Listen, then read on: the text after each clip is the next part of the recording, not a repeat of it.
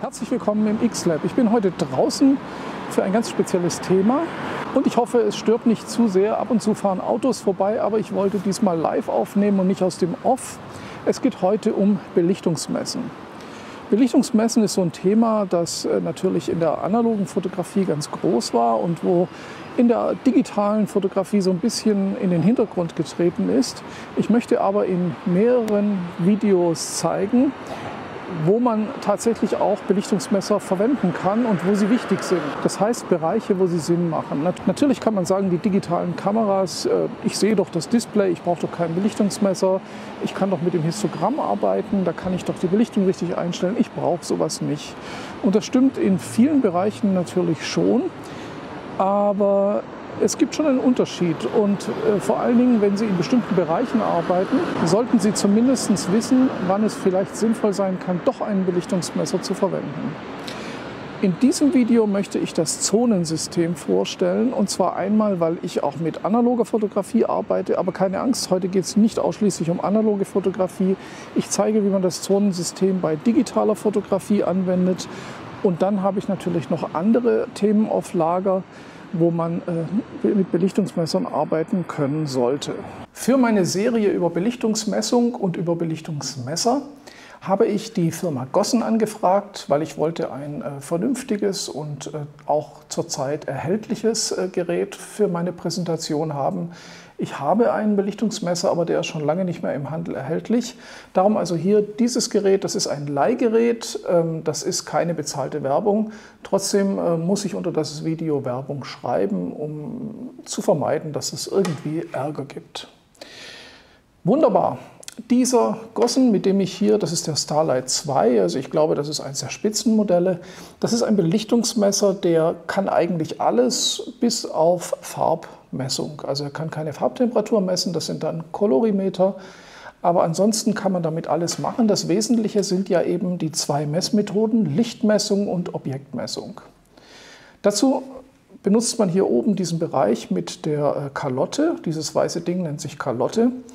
Und ähm, diese Kalotte ist für die Lichtmessung da. Wenn die ausgefahren ist, das wäre hier die erste Position von diesem Drehrad, dann messe ich 180 Grad ankommendes Licht. Also ich messe am Objekt Richtung Kamera und kann dann die Helligkeit am Objekt messen.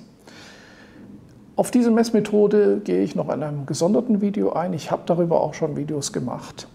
Man kann diese Kalotte auch zu Lichtquellenmessung verwenden. Dazu wird die zweite Position verwendet. Die Kalotte wird dann eingefahren, dass sie praktisch eben ist mit dieser Umrandung. Und jetzt wird nicht mehr 180 Grad Lichteinfall gemessen. Jetzt kann man direkt zum Beispiel Blitzgeräte oder Lichtquellen direkt anmessen, um die Unterschiede der Helligkeit äh, zu messen. Auch das werde ich noch in einem gesonderten Video zeigen. Und die beiden Objektmessungen, äh, also Objektmessung ist das, was die Kamera von Hause aus macht. Eine Kamera kann keine Lichtmessung machen. Die mache ich, also die Objektmessung, mache ich mit den beiden Einstellungen 5 Grad und 1 Grad. Dafür gibt es hier so einen, ich zeige das mal hier auf der Seite hier, das ist so eine Art Sucher, da kann ich durchschauen und dann sehe ich einen kleinen und einen großen Kreis. Der kleine Kreis ist die 1 Grad Spotmessung, der große Kreis die 5 Grad Spotmessung. Und dann kann ich und das ist für Architektur und Landschaft wichtig. Dann kann ich bestimmte Bereiche in meinem Objekt messen. Zum Beispiel, wenn ich einen Wald fotografiere, die dunkelsten Stellen im Wald und den Himmel oder bestimmte helle und dunkle Bereiche ganz gezielt anmessen und kann diese Messwerte speichern. Das sind also die grundsätzlichen Messmethoden und dann gibt es natürlich jede Menge Funktionen, mit denen man die speichern kann, mit denen man Mittelwerte messen kann und so weiter. Das werde ich dann in weiteren Videos demonstrieren. Heute geht es aber um das Zonensystem. Das Zonensystem wurde, so viel ich weiß, von Ansel Adams entwickelt und da geht es darum, dass man dass Ansel Adams äh, eine optimale Möglichkeit gesucht hat, wie man eine Landschaft oder ein Objekt so messen kann, dass man mit der Belichtung eines äh, Negativfilms, normalerweise schwarz-weiß damals, und der passenden Entwicklung und Vergrößerung das Optimale an Schwarz- und Weiß- und Graustufen aus dem Bild herausholen kann. Also wie man alle wichtigen Informationen erhalten kann.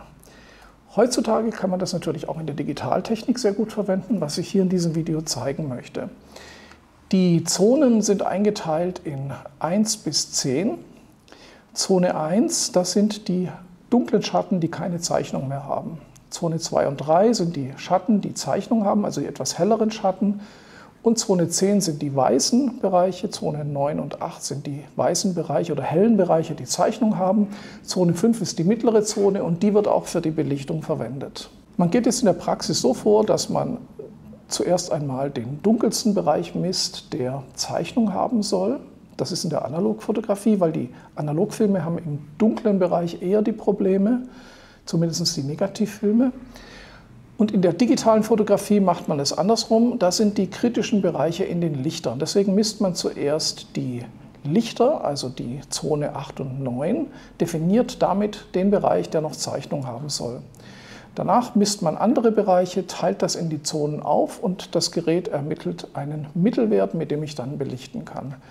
Das ist grundsätzlich die Vorgehensweise.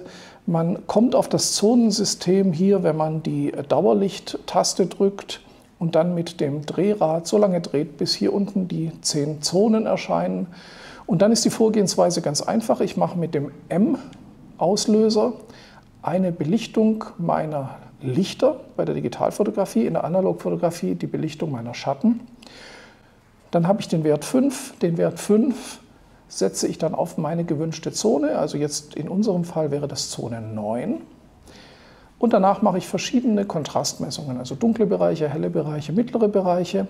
Und wenn ich fertig bin, dann gehe ich wieder auf meine Dauerlichttaste und drehe so lange, bis mir die Zeit und Blende angezeigt werden von dem Mittelwert. Und das ist dann den Wert, mit dem ich belichte. Und was das bringt und wie das funktioniert, das sehen wir jetzt. So, ich habe hier auch schon meine Digitalkamera. Nicht, dass Sie denken, heute ist nur Analogtag, obwohl bei mir immer mehr Analogtage dazukommen. Sie könnten jetzt natürlich auch sagen, okay, ähm, wenn ich schon draußen bin und ich habe nicht so richtig den Überblick, weil so hell ist, Display kann man nicht erkennen, dann mache ich doch einfach eine Belichtungsreihe. Das stimmt und das ist auch sehr gut zu machen in der Digitalfotografie. Das heißt, Sie machen einfach mal von dunkel bis hell und dann haben Sie schon die richtige Belichtung dabei. Das Zonensystem ist aber nicht nur dazu da, die richtige Belichtung zu finden. Das Zonensystem ist auch dazu da, um festzustellen, ob vielleicht der Kontrastumfang zu hoch ist. Also wenn ich zum Beispiel in den Lichtern, also im Himmel zum Beispiel, die Wolken erkennen möchte und dann in einem sehr dunklen Bereich auch äh, die Schatten erkennen möchte, dann kann es sein, das packt die Kamera gar nicht. Das heißt, allein durch Messen mit dem Zonensystem äh, ist es nicht so, dass ich plötzlich alles äh, auf den Sensor kriege. Ähm, ich kann damit auch feststellen, ob der Kontrast vielleicht zu hoch ist. Und bei Film ist es natürlich noch krasser, weil Film hat nicht so einen hohen Dynamikumfang.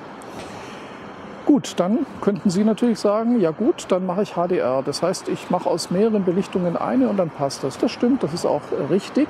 Aber als Architekturfotograf oder als Landschaftsfotograf möchte man nicht immer alles mit HDR machen, weil man unsicher ist, ob man richtig belichten kann.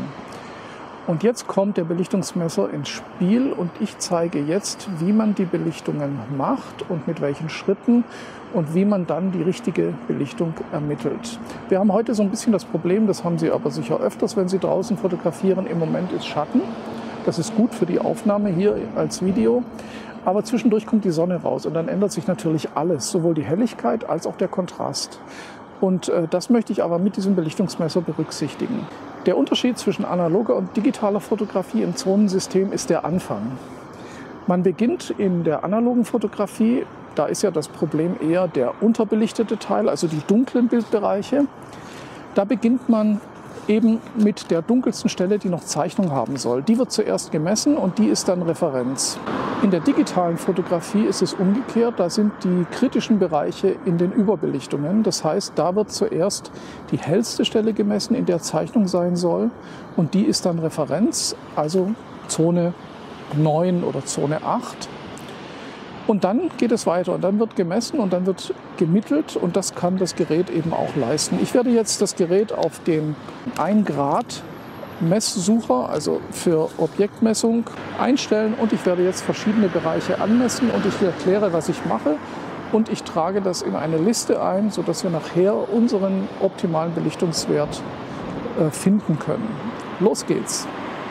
Ich werde jetzt zuerst die hellste Stelle messen und das ist zwischen den Pfeilern hindurch der Himmel und zwar dort, wo die Wolken sind. Wir haben gerade bedeckt, das bedeckten Himmel, das ist sehr schön. Wichtig ist, man muss mit dem, erstmal mit dem M messen. Die erste Messung macht man mit dem M-Knopf.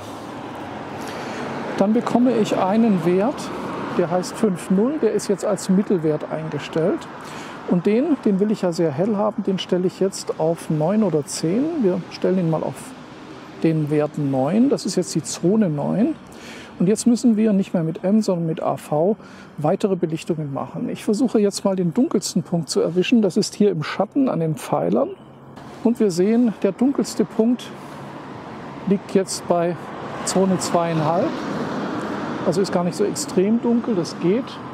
Und jetzt mache ich noch ein paar Sicherheitsmessungen von anderen dunklen Punkten die aber alle irgendwie dann dazwischen liegen. Wir haben also keinen Punkt, der noch dunkler ist. Ja, alles liegt mehr oder weniger in diesem Bereich. Ich habe jetzt fünf Messungen gemacht und wenn ich jetzt meinen gemessenen Mittelwert, den ich dann für die Belichtung brauche, verwenden möchte, drücke ich auf Dauerlichtmessung und drehe am Rad Jetzt haben wir hier eine 8 Sekunde Blende 16. Wir können natürlich hier auch jetzt auf eine 30. Sekunde oder auf eine 60. Sekunde Blende 8. Bei ISO 200 ist es natürlich die 125. Blende 8. Und das fotografiere ich jetzt. Die 125. Blende 8. So, und jetzt sieht man, das Bild ist relativ dunkel. Das liegt einfach daran, weil wir uns äh, dafür entschieden haben, dass wir Zeichnung in den Wolken haben wollen. Und da sieht man schon, das ist relativ äh, krass. Also die Wolken sind so hell, dass der Rest relativ dunkel eingestellt wird. Wir haben aber jetzt die Möglichkeit, im RAW Converter hier mehr aus dem Bild herauszuholen. Ich mache jetzt noch eine zweite Belichtung und die ist so, wie ich das auf dem Display gut finde. Und wir vergleichen das dann in der Bildbearbeitung. Wenn ich das so machen wollte, wie es meine Kamera für richtig hält, dann hätte ich 50. 5,6. So, das ist die 50. 5,6. Und wir schauen, ob wir da noch was aus den Wolken rausholen können. Ob wir es wollen, ist natürlich eine andere Frage. Einfach mal, um zu sehen, was der Unterschied ist zwischen einer Messung mit Belichtungsmesser und einer Messung mit der optischen Kamerabeurteilung, der Displaybeurteilung. So, schauen wir uns die beiden Aufnahmen mal nebeneinander an, beziehungsweise vergleichen wir mal beide Aufnahmen. Dies hier ist die Aufnahme, die ich nach dem Zonensystem aufgenommen habe. Und Wahrscheinlich denken Sie, was ich im ersten Moment auch gedacht habe, Mist, das ist wohl schief gelaufen. Aber das stimmt nicht, das werden wir gleich sehen. Und das ist die Aufnahme, die ich so nach Display gemacht habe. Die sieht äh, recht ordentlich aus und ich denke, da kann man auch noch einiges aus dem Bild rausholen. Fangen wir mal mit der zweiten Aufnahme an, also der nach Display. Und ähm, was würde man hier machen, um den Kontrast ein bisschen zu vermindern? Ich würde mal die Lichter zurückholen. Hier sieht man aber auch schon gleich, dass die Lichter hier überbelichtet sind. Also hier bekomme ich wahrscheinlich nicht mehr viel aus dem Bild raus. Ich probiere es trotzdem. Natürlich könnte man sagen, will ich auch gar nicht, der Himmel kann weiß sein, dann ist es ja okay. Aber mir geht es jetzt darum, eine ausgewogene Aufnahme zu erreichen. Ich reduziere mal die Lichter ein bisschen die Tiefen mal ein bisschen hochfahren. Da kriege ich also einiges raus aus den Tiefen, das ist kein Problem. Dann die Belichtung ein bisschen hochfahren. Was könnte man noch machen? Den Kontrast äh, verstärken, dass das Ganze so ein bisschen kräftiger aussieht. So, und ähm, lassen wir es mal, also Klarheit und sowas lasse ich jetzt weg, Weißabgleich auch, einfach nur die Tonwerte korrigieren. Wir sehen also, wir kriegen in den Schatten hier einiges aus dem Bild raus. Ich zoome mal ein bisschen rein in die Schatten. Also das ist ja die Fuji X-T2 und die ist eigentlich auch in den Schatten hier recht gut. Also ich bekomme hier einiges zurück. Wunderbar. Nur eben in den Lichtern, da fehlen die Tonwerte. Das wäre das Ergebnis nach Kameradisplay äh, belichtet. Und jetzt äh, schauen wir uns mal die andere Aufnahme an und da denkt man im ersten Moment, hm, das wird schwierig, das ist alles sehr dunkel, da bekomme ich nichts mehr aus den Schatten raus. Schauen wir es uns mal an. Als erstes gehe ich mal in die Lichter und fahre die mal runter. Und da sehen wir, auch wenn ich die Belichtung hochfahre, hier ist im Himmel Wolken und blauer Himmel noch zu erkennen. Also so wie wir das im Zonensystem auch eingestellt haben. Wunderbar und sehr schön alle Details im Hintergrund zu erkennen. Ja, und jetzt ist natürlich der Rest ein bisschen dunkel, also gehen wir mal mit den Tiefen hier ein bisschen hoch. So, ja, relativ gut. Das ist jetzt schon dicht an HDR vom Look her.